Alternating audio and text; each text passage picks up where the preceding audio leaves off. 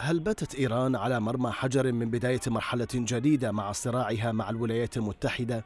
مرحلة تبدو فيها إدارة البيت الأبيض أكثر ميلا للحلول العسكرية فيما يخص الملف النووي لطهران فالصقور في طريقهم للسيطرة على مصنع القرار الأمريكي بعد قرار الرئيس ترامب تعيين سفير واشنطن السابق لدى الأمم المتحدة جون بولتون مستشارا للأمن القومي بعد تعيين مايك بومبيو وزيرا للخارجية وجينا هاسبل رئيسة لوكالة الاستخبارات المركزية.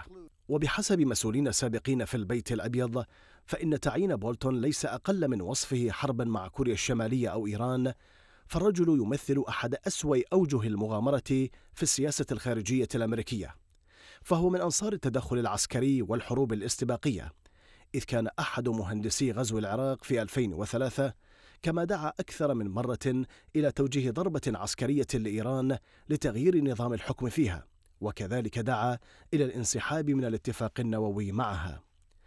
الحرب مع إيران أصبحت إذن احتمالا حقيقيا مع وجود جون بولتون كمستشار للأمن القومي الأمريكي كما تقول مجلة The American Conservative. وهو الأمر الذي أثار كثيرا من القلق في العراق لدى الأطراف السياسية الأكثر قربا من إيران. لا سيما وأن البلاد مقبلة على انتخابات تشريعية قريبة يسعى حيدر العبادي من خلالها إلى تقديم نفسه كخيار إيراني أمريكي يعكس رغبة مشتركة في استمرار مرحلة من التفاهمات بين طهران وواشنطن. غير أن ذلك ربما لا يكون متاحا للعبادي إذا ما وصلت الأمور إلى طريق مسدود وطلبت واشنطن من بغداد تحديد موقف واضح من الصراع مع إيران.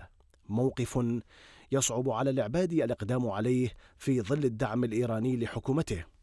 ما يرجح معه محللون أن يكون العراق ساحة لصراع أمريكي إيراني لا يبدأ بالمناورات السياسية ولا ينتهي بالعمل العسكري.